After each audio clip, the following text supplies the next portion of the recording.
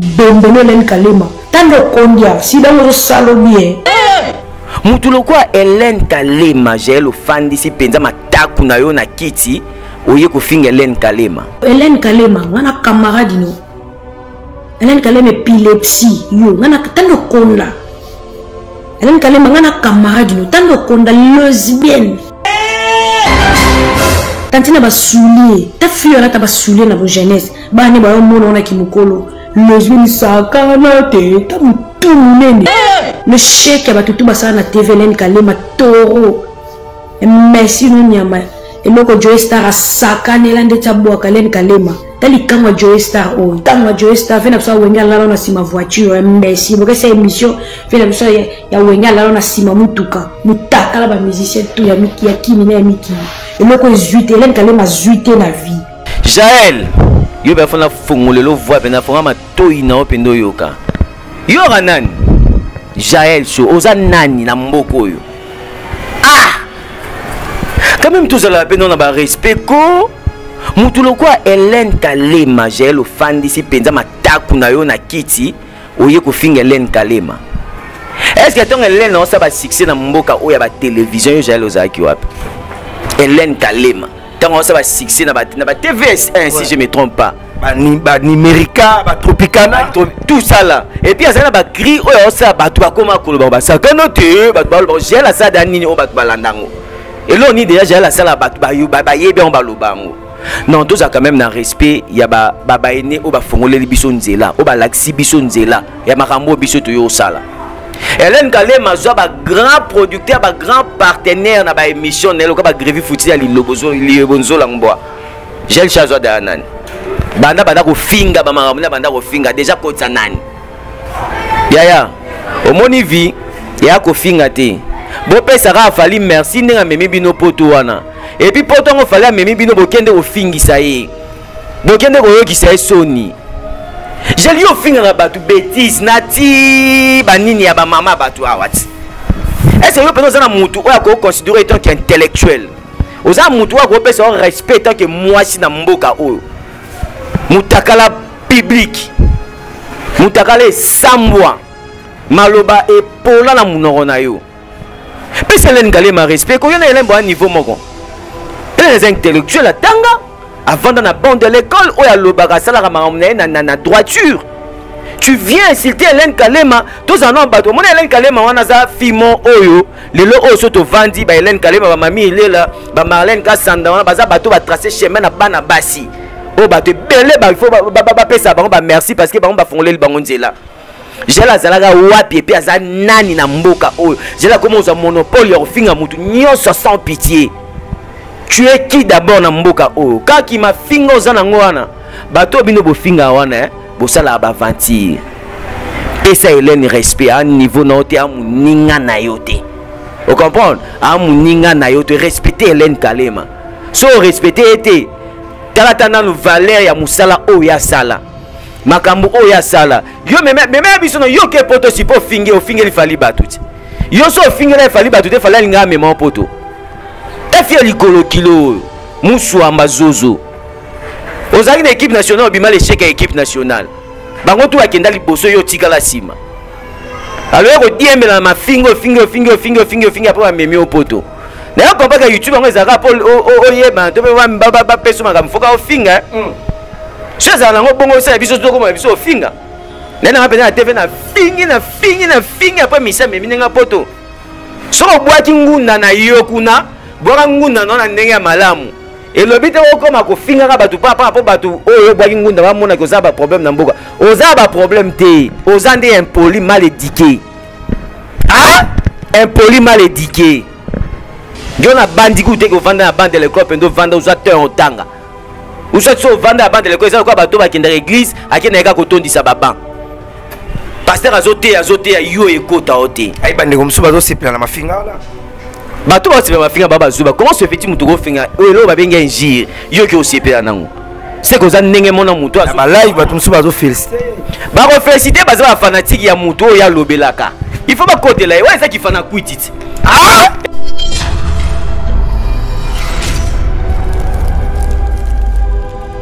grace temo euh, tu sais dans la vie motu so ozo vivre na esprit ya base personnalité na yo to dignité na yo mpe aire moko ekokita grace awa vivre na base nyonso aoloba ne ya base naloba eloma bobimisa ya biso bapreuve baaudio baconversation oyo yo osololaka na fali ndenge olobi ke obimaka na fali oyo yo osololaka na popole ndenge olobi ke obimaka na popole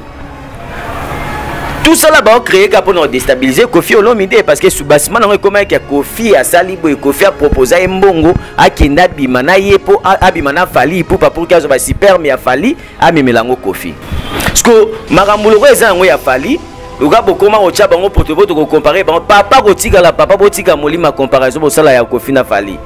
grace temo yo moto yo otya potopoto nyonso bachroniqueur oyo liboso bakendaki toyoka ya makambo oyo te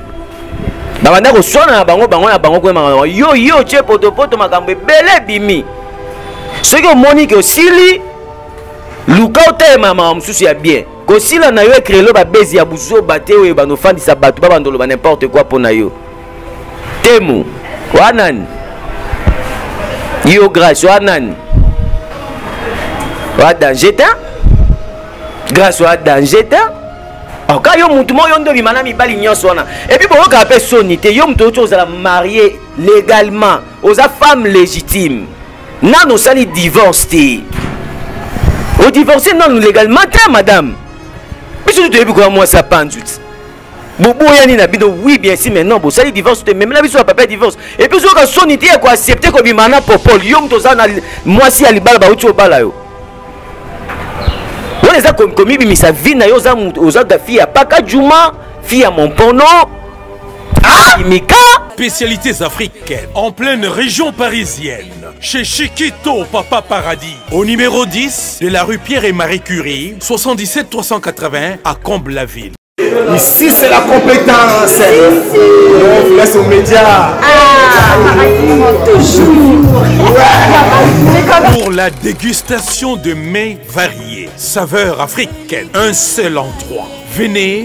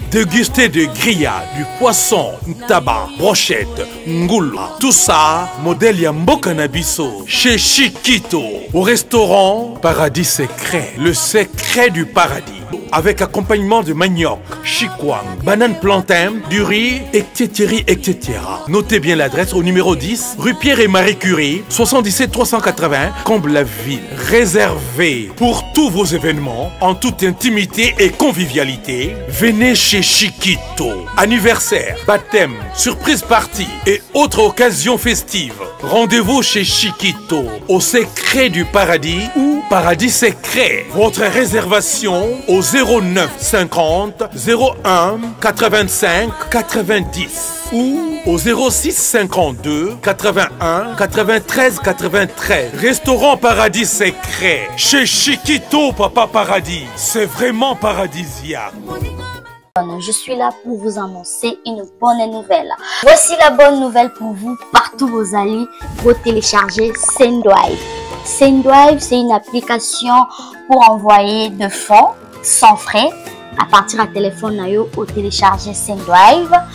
oza na poto okoki kotina mbongo partout na ba certains pays ya afrique précisement biso na congo oza toza na mposa so ya kose déplace te à partir ya téléphone télécharge sendrive na yo otindi mbongo na seconde moto mpe azwi na telefone na ye na mpesa orange mani airtel mani très facile à utiliser et c'est très sécurisé bobanga te talaka nga moko naza na kati epuis cadeau ya monene oyo tomeli bino nyonso bozo telecharge sendrive boutilize code promo nanga elengi ya congo donc après avoir téléchargé sendrive okoutilize code promo elengi ya congo oza na 10 euro offerte 10 euro bonus 10 euro wana ebakisi susu mwa un plus na mbongo oyo olingaki otinda en tout cas n'hésite pas bana poto nyonso bacongolais tout badiaspora olingi otinda mbongo na congo télécharge sendrive application kitoko mpona biso bacongolais nyonso eye kofacilite biso transfert d'argent sans frais oza na mbongo kofuta te kaka na kati ya application osali transfert na yo mpe ndeko no kuna aoketelema te na molongo mpona kozela bapesa mbongo directement na telefone na ye azwi mbongo na ye n'oubliez pas ya koutilize code promo na nga elengi ya congo mpona bozwa 10 euro ya bonus telecharge l'application inscrivez-vous botie bacoordonnées c'est très facile à utiliser les noms complets les numéros ba email tout oyo ekosenga biso na kimia nyonso na tranquillité après avoir ko remplir nyonso à partir ya wana okoki kosala transfert na yo ya bafond oyo yo olingi na congo ndeko na yo aza satisfait malade o butu moye okende kotinda mbongo soki wapi te na telefone na yo kaka directement o envoyer mbongo mpe ekomi na sécurité nyonso congolais tout oza na belgique na france diaspora tout olingo ntina mbongo na congo kohésite te sendwive eye mpona kofacilite biso na batransfert d'argent facile et sans frais sendwive mbongo na combo la tranquillité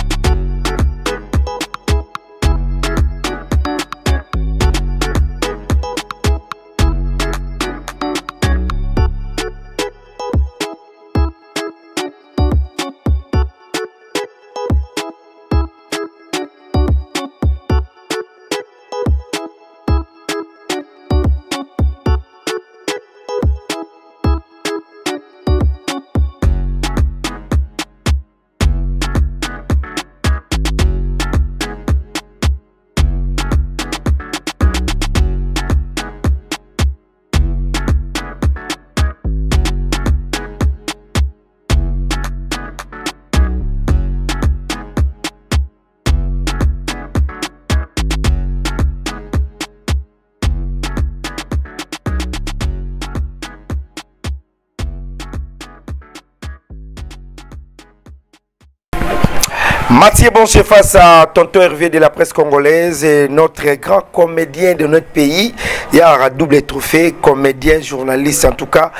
très très intelligent. Avec lui, on va parler tout sauf rien, surtout par rapport à l'actualité musicale de nos pays tomoni awa bakofinga vesacle vesacle akofinga bagolois azofinga feregola koto mosusu toyoki sujet ya grace tembo baproblème na f victime toyoki jael akofinga hélène kalema quoi triple h donc on va parler avec lui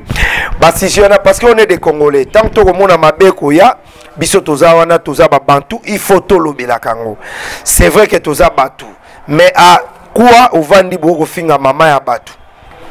ovandi bozofinga mama ya bamaître tout ya jobour eza lokola oluki problème napesi tous les maîtres ya jobour nalongoli mutu te bango tout bambote ebele bamaître tout ya afrique du sud nalingaka bino ya trop parce que boza bandeko na nga bacongolais merci beaucoup parce que on est toujours en afrique du sud ah, Yannick akini ya rombox émission à yango Yannick akini à l'homme de mekato je dis merci beaucoup pour tout merci à trésor Mouti, fondation Mouti. Hakim Saloum, le Némar congolais.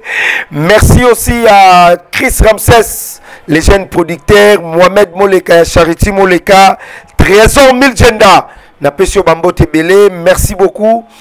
a double nationalité zino safela napesi bino bambote ebele wana na pense na bandeko na biso baza na jobourg merci ya niclete mangondo masa na ngai depuis afrique du sud akotala ngai e na esco na kin napesi mbote na eric mukweso maison ephraim maison ephraim maison ephraim nabwaki yo trois fois parce que yo nde ozolalisa bacongolais ozobongisa bandako ya bacongolais eric mukweso bapano eza likolo ya pasteur moïse mbiye merci aussi ya le pdg mosengo mmp pdg mosengo mmp pdg mosengo mmp ye babwakaki trois fois autrement dit tonton kolo bana semendwa oye avec le pdg mosengo merci à christian le banquier autrement dit le boss manunga merci à rodi mukendi les sénateurs en vie et sans oublier bandeko nyonso balingaka matie bonchi je suis là toujours au milieu du village sans polémique sans parti pris nakomema kopo oyo kaka boye parce que grâce à micro nde nakenda partout micro nde dallas micro nde paris micro nde luanda micro nde londres micro nde de partout nakokende grâce à boro oyo nayebi te aquaser nafinga leader nafinga musicien mpo nazwa succès succès eutaka na mutu na mayele tonto herve mbote na mbote euh, mathieu bonso epuis euh, mbote na bainternaute nyonso balanda biso na moma oyo je sali adams mabungu le banquet hmm, wa masala nga Ah. Eh, Adams Mabung. Adams Mabung, les banquiers, salutations à toi et puis un grand merci à notre daddy. hein? archi patrick tomos ya gasila eh, clin d'oeil à toi loboko ya nguya maloba ya sagesse ezalaka kati na ye mbote na bato tu baolanda nga na moment oyo tracy mbelenga prod motema ya glodi diasuka salutation à vous et mbote na euh, pasteur lite ya kanda na assistance ya émission golbert golbert ya youtube ah,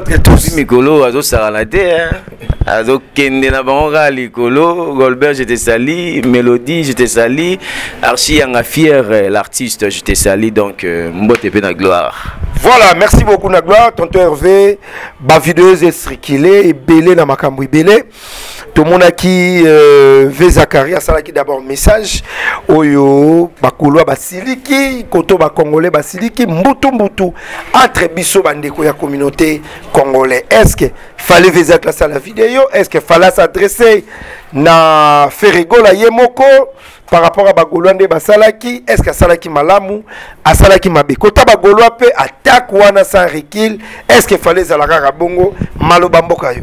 mais c'est tout à fait normal par rapport à bagolois visa clesor asalaki droit ya korépondre par rapport à oyo basalaki na mwana na ye mais quand même faka aza na maîtrise ce n'est pas fait rigola nde moto asala ye makambo wana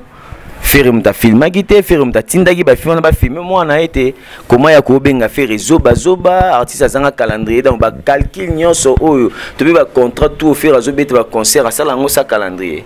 zakari kala toyebaka aza moto ya mayele ti kala biso tutu banda korespecte zakari ayela biso bainnovation ya makambo ebele esiko bamakambo tu ya kala wana oyo abanda kosala wana akopesa yango respect te na lelo oyo aya kokota na betise aya kokota na bozwi akoma nde moto ya babase moto mema olobaki na créer base base na biso mpe nzambe alingi na komema yango ti ane esila vidi kokoma ovivre na babase outi obosaki outi ovanda na parlement ogangela bato nanu fimbu ya parlement ana kofiakola fimbu okenda boye na parlement fimbu yango nanu babeta yo yo moko fimbu esali eloko te ah! fimbu esali eloko te ah, babeta ye fimbu na ye ye moko ebalukela ye Ferre Gola nga loba eloko moko bato bapesa ba musicien na biso respect eza biso mo ba congolais. Voilà. Donc tant to diminuer ba artiste na biso tozo kitisa bango tozo finga bango to sala honneur ya mboka te culture yango biso eko évoluer comme. Un grand o biso to mona na micro liboso tant su eza ba ba, ba chroniqueur ebele pe bazo idéologie ya Hollanda o Zakara sala mais quand même azanga ba maîtrise de soi. Azanga ba limite ya koyeba ko déborder. koke kofinga artiste ya monene lokola ferre gola c'est un grand artiste aza artiste ya moke te depuis ferre abima azala ferre jusqu'aujourd'hui aza kaka ferre akoba toujours na kozala ferre gola oyo azoyemba epuis azomettre tout le monde d'accord mais zakara azokitisa ye na, na, na, na eloko moko boye ezanga mo faka s'adresse na bafi wana faka s'adresse na bafi wana comment ya kosadresse na ferre gola c'est pas du tout bien vezacle oza responsable de 1 de 2 oza honorable outi oza honorable ozali so honorable te nandimi mpe te ke ozonga tour oyo eh, baokata na bango oyo parce que makambo osala emérite te ke ovanda na parlement tour oyo mpenza fo bakata yo donc zwa maîtrise na yo raisonner bien réfléchir bien makambo osalaka lelo oyo okóma na baparti pris un journaliste biso toyebi ya chroniqueur akoza na parti pris te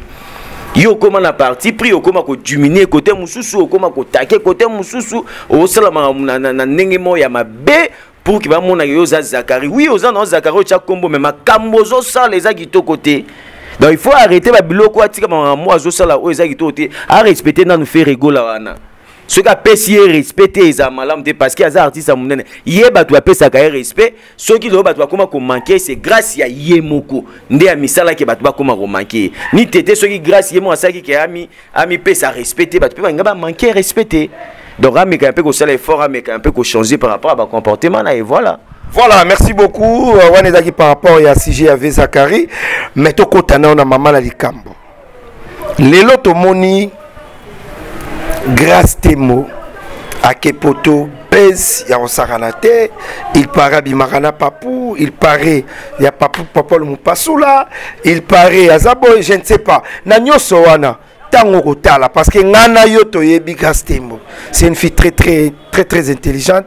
asololaka bien makambo nde toza bien lelo ntango tomona ye bajael bake bakosola na bamanike ye ake kaka moto epeli na nyonso wana okoloba boni ah, grace temo oyebi oh, mpenaka toyebi ye eh? toyebi ye très bien c'est une sere à nous nayebaka na conférence de presse moko asalaka na, na beau marché je crois ya makambo na bango bafilme na bango basala bezi na badacosta wana grace temo euh, tu sois dans la vie motu so ozo vivre na esprit ya bezi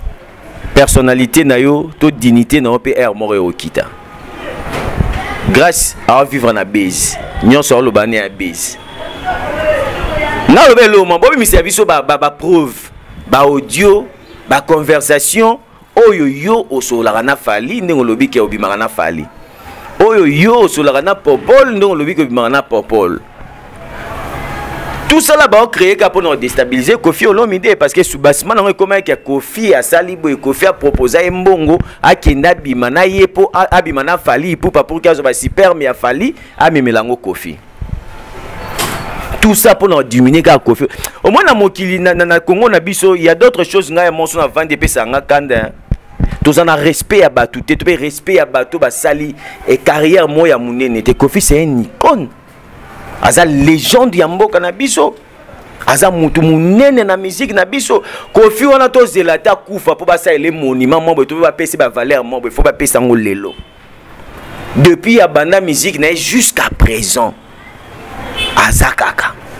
de génération en génération epuis musique ne elembaka te obeti aspirine bar mobimbi kobina ceke makambo lokola eza yango ya fali loka bokoma kotya bango potopoto kokompare bango papa kotikala papa botika molimo ya comparaison bosala ya kofi na fali grace temo yo moto yo otya potopoto nyonso bachronikiere oyo liboso bakendaki toyoka ya makambo oyo te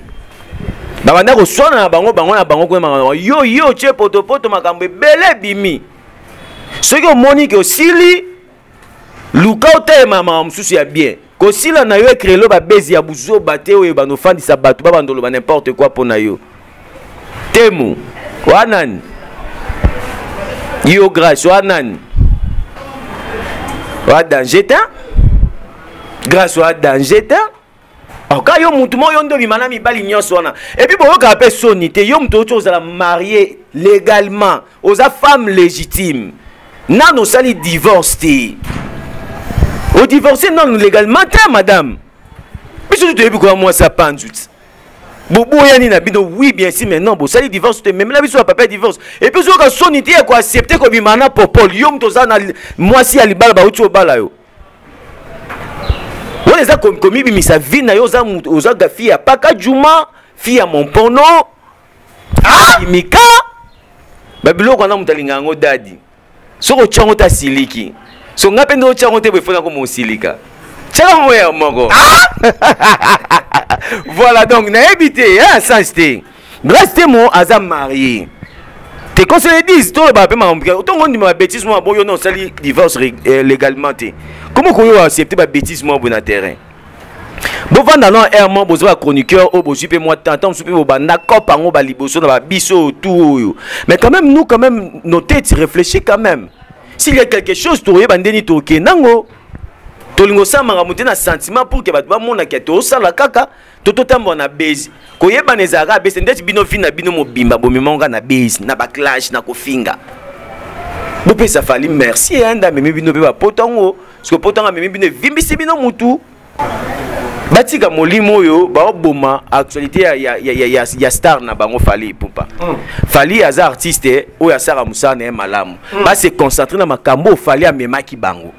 quand bao se concentrer na makambo fallait amema ya bango te bao nuire nde ye bango bakokota bafitilité ezanga motu na makolo balobela no concert bauti obeta ya nini na cameroun balobela yango yango balobela yango te oya cameroun Voilà, merci beaucoup Tonton Hervé. Avant de continuer cette émission, je dis merci à Fabrice Ngitavu, Parking Abadjogo, Azotala Bisso Patron, merci à vous. Merci à Timothée Otete, depuis canada merci ya fiston bulldozer l'impeccable fiston bulldozer l'impeccable merci à vous merci aussi à depol kasongo passeport rouge akotalama c'est bon chez merci à freddy matete freddy matete oyo oh, bayembela pa ferregola moninga ya odiloma mpuya boutique exemple à suivre c'est Willery na coin ya vene de l'hôpital kota wana nyonso eza original libanda eza na terrasse ya vip esika tokutanaka biso tu esalaka mwa bien tokota na sujet kaka tomoni gl show afingi bato tu oyo afingi na balaurent sokoko afingi bakofi bamanike babakali bamamarifa bato ebele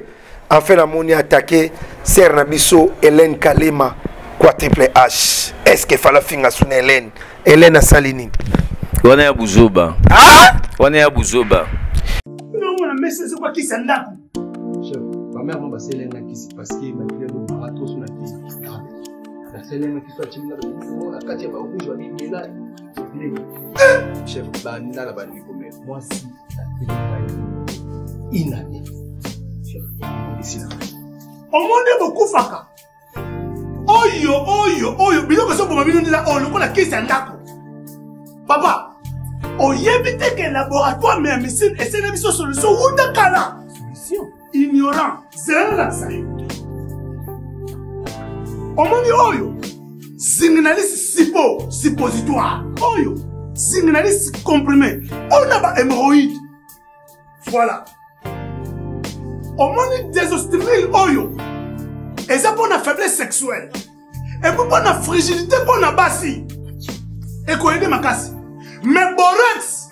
soki osisi traitement nyonso tu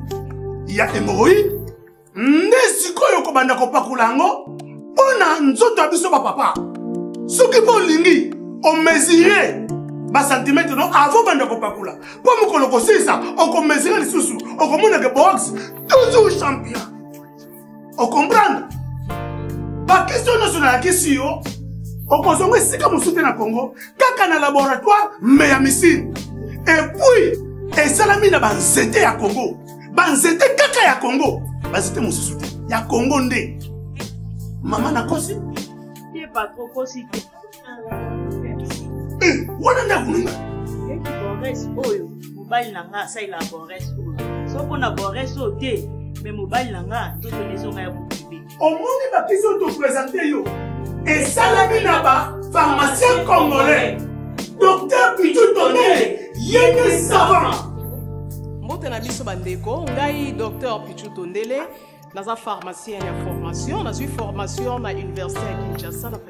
faculté ya pharmacie et puis nasali ba master na niveau ya université marien ngwabi mpe na niveau ya canada na transformation des agro ressources et puis préparation ya bacosmétique thérapeutique naturelle nazali koevre na laboratoire crmta oyo ezali laboratoire mmc spécialisé na production ya baphytomédicaments c'est-à-dire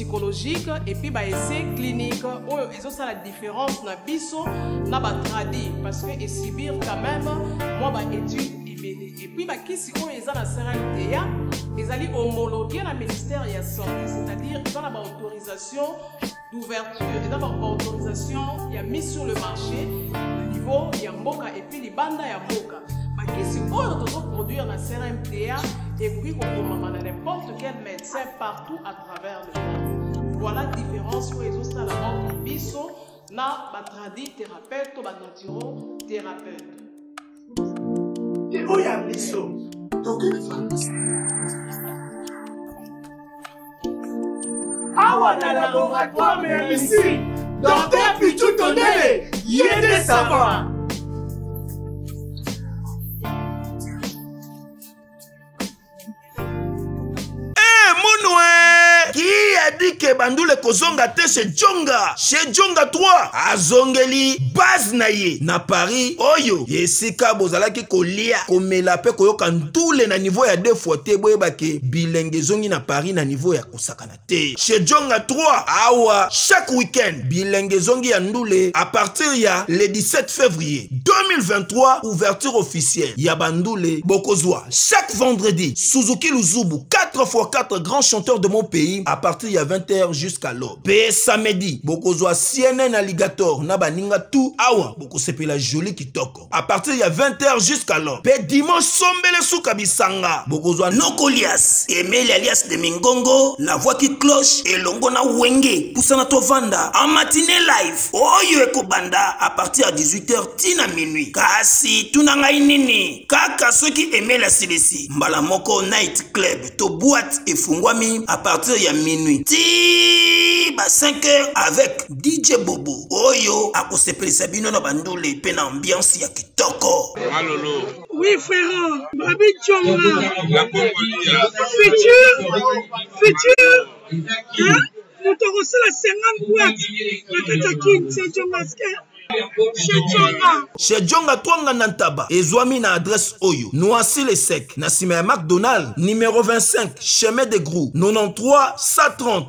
oza mobimba chez jonga twonga na ntaba yango nde ezali moboko ya ambiance na kati ya paris mpe na france mobimba jael yo mpe afona fongolelo voi mpenza fonga matoi na yo mpenza oyoka yo oka nani jael so oza nani na mboka oyo ah quand même tozalaka mpe nao na barespect ko motu lokola helene kalema jael ofandisi mpenza mataku na yo na kiti oye kofinga helene kalema estce ntongo helene naosa basuccès na mboka oyo ya batelevizio yo jael ozalaki wapi helene kalema ntango aosa basuccès na batv 1 si je me trompe pas banimerica batropicana tout ça là epuis azali na bacri oyo aosala bato bakoma koloba basakana te bato baloba gel asala da nini oyo bato balanda yango eloko nini deja gel asala bato bayebi yango baloba yango non tozala quand même na respect ya babaene oyo bafongoleli biso nzela oyo balakisi biso nzela ya makambo oyo biso toyo osala Hélène Kalema zwa ba grand producteur ba grand partenaire na ba émission na ye lokola ba grevi futi ya lilobo lilobo nzola ngboa Gel Chazo da nani banda banda kofinga bamakambo na banda kofinga deja kotisa nani yaya omoni vi yaya kofinga te bopesaka afali merci ndenge amemi bino poto wana epuis poto yango fali amemi bino bokende kofingisa ye bokende koyokisa ye soni jeli yo ofingaka bato betise na ti banini ya bamama bato awa ti ese yo mpenza oza na motu oyo akoki considere etant qu'intellectuel oza mutu oyo akopesa yo respect tant que mwasi na mboka oyo mutakala publique mutakala esambwa maloba epola na monoko na yo pesa eleni kalema respect koyo na elembo ya niveau moko eleni eza intellectuel atanga avanda na bande de l'école oyo alobaka asalaka makambo na ye na droiture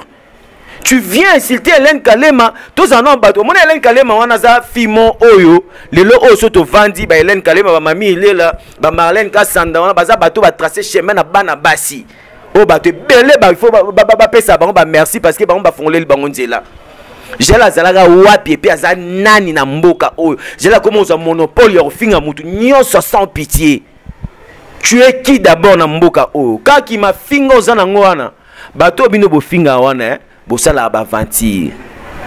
pesa helene respect a niveau na yo te a moninga na yo te ocomprendre a moninga na yo te respecte helene kalema so orespecte ye te talata nanu valeur ya mosala oyo ya sala makambo oyo ya sala yo meme ya biso na yo ke poto sipo ofinge ofingeli fali bato ti yo so ofingela efali bato te fali alingaka mema o poto efi ya likolo kilo oyo musuamba zozo ozalaki na équipe nationale obima lechec ya équipe nationale bango tu bakenda liboso yo otikala nsima alo ye kodiembela na mafinga ofingi ofingi ofingi ofingi ofingi apres bamemi yo poto naye okompaka youtube yango ezalaka mpo oyebana to mpe bapeso makambo foka ofinga mm. so ezala nango bongo osala biso tokoma biso ofinga naye nanga mpenza na tv na fingi na fingi na fingi apres misa amemi ndenga poto soki obwaki ngunda na yo kuna bwaka ngunda na na ndenge ya malamu elobi te okoma kofingaka bato papa mpo bato oyo obwaki ngunda bamonaki oza baproblème na mboka oza baproblème te oza nde impoli mal édiqué ah? impoli mal édiqué yo na bandi kutu teke ovanda na bande le club pende ovanda ozwa te otanga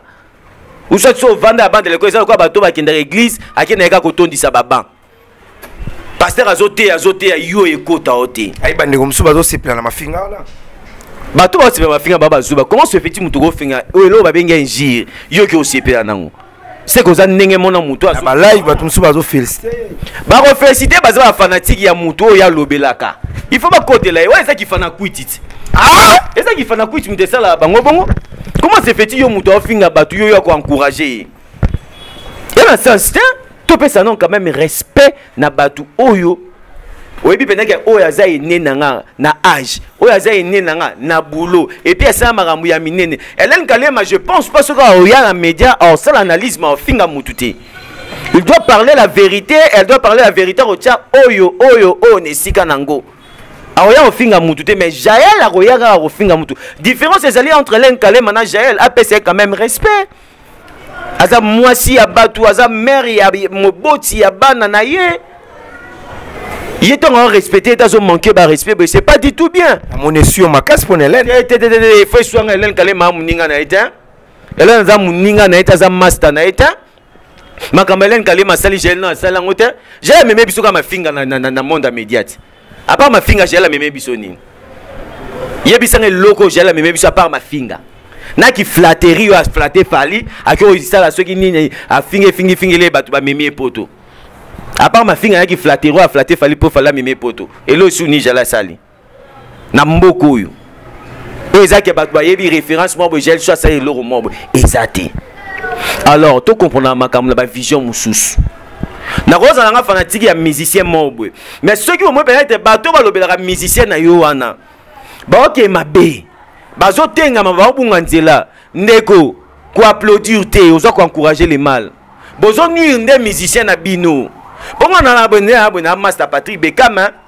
ba bon séjour na ye déjà azongi na kit na master parti beka elobi e, te ke lokola na master bekam so namoni motu moko balobela bekam aleki na média abandi kofinga bamusicien so nde na oteme na ogangele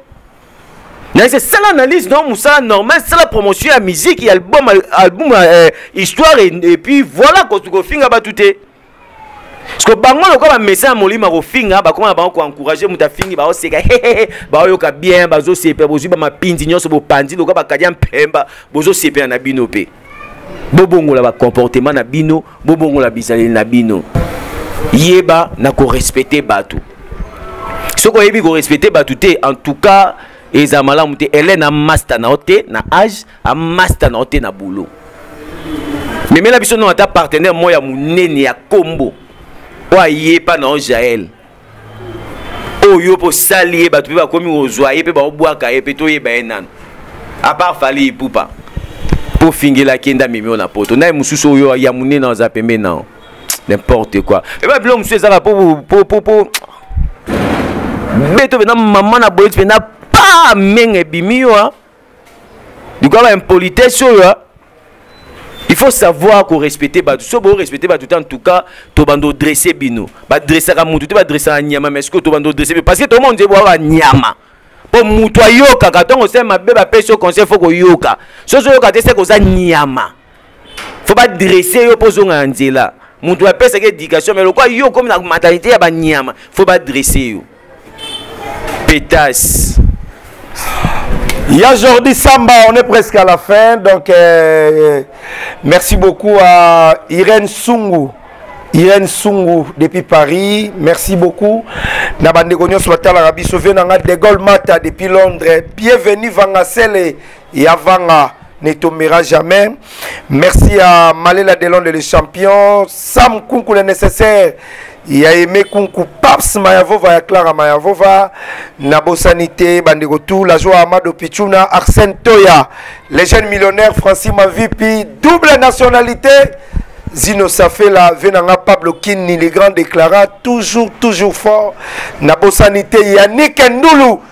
le grand déclarant yannick ndulu napesi yo bambote ebele babwaka yo trop mais babwaka yo bien te je reconfirme avec force yannick ndulu le grand déclarant yannick kayenga la mon invisible de radio presse des amunda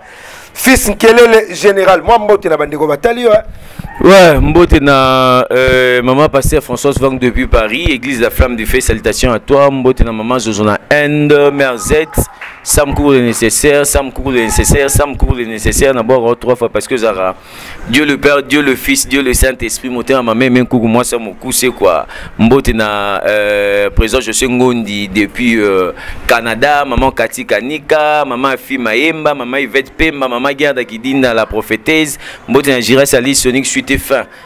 depuis londres hein? apesela nga mbote na angèle mosuaeli makizembe kua mbote na bato tout oyo balingaka tonto herve merci à tous mes enfants du groupe galaxie napesi mbote na archi patrick tomosi agasi lala entrepreneur aussi homme d'affaires oza na besoin kosomba cuivre diamant en tout cas bocontacte ngai na plus 243